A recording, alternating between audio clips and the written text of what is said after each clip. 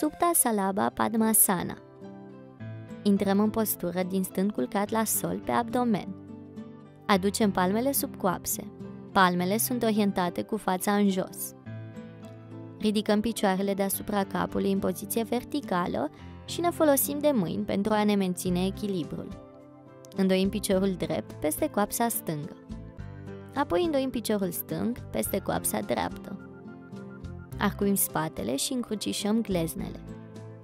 Menținem postura timp de 30 de secunde.